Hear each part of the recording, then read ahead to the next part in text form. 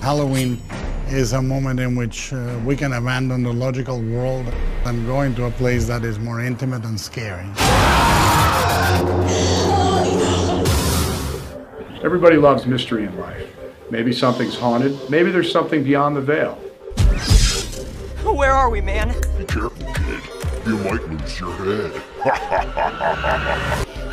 Halloween is on YouTube one of the biggest moments of the year. There's just a groundswell globally. It's really a global holiday.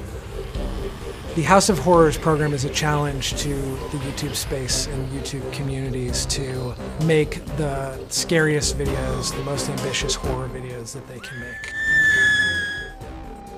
When you attach somebody like Guillermo del Toro, who's sort of the master of ceremonies for all this, uh, it inspires people.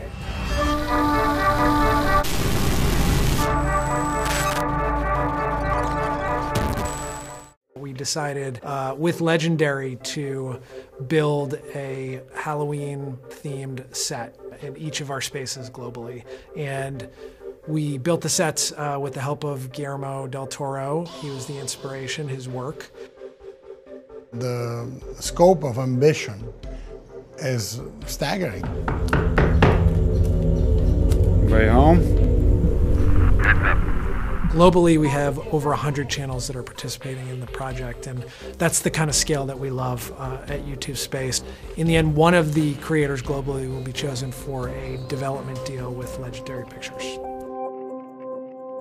I'm really, really happy with that advice. Thank you so much. I had a mentoring session with six of the filmmakers on YouTube. The, the ghost, uh, very powerful.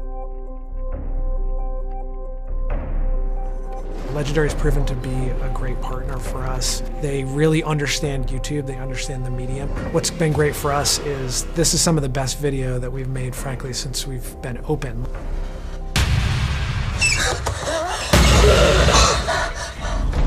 Having Mike Dougherty come and talk about Trick or Treat or the Dowdle Brothers come and talk about As Above, So Below, the feedback we got was just that creators were really inspired to have those actual filmmakers in the space.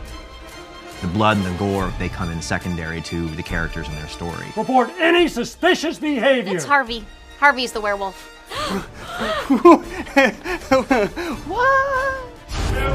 What? It's moving so fast, we have to sort of stay intuitive. We have to see what it wants to do. It's really important that the work we do inspire millions of creators and viewers beyond our four walls, and this project has done that.